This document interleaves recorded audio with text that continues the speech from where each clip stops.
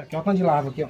Lava, lava. Ó, viu? Tá, tá mexendo tudo lava. ó. Lava de mosca. Aqui, do lado do hospital, tem pessoas inter... ah, aqui, Internadas, né? internadas. né? Isso aqui é o trabalho que o prefeito está dizendo que está bem feito, está bacana. Aqui, ó. Pessoal, aqui não é fazenda, tá? Isso aqui não é fazenda, isso aqui é Monte Alegre, isso aqui é o hospital de Monte Alegre. Ó, isso aqui é o hospital, tá, pessoal?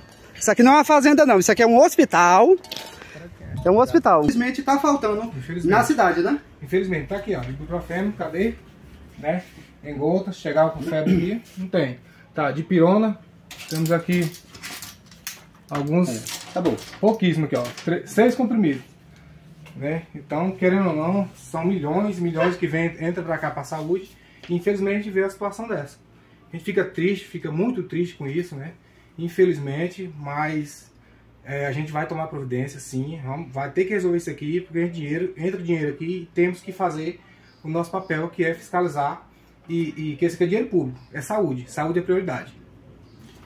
Vem cá, vem cá. Aí eu faço a pergunta: cadê o dinheiro que estava aqui?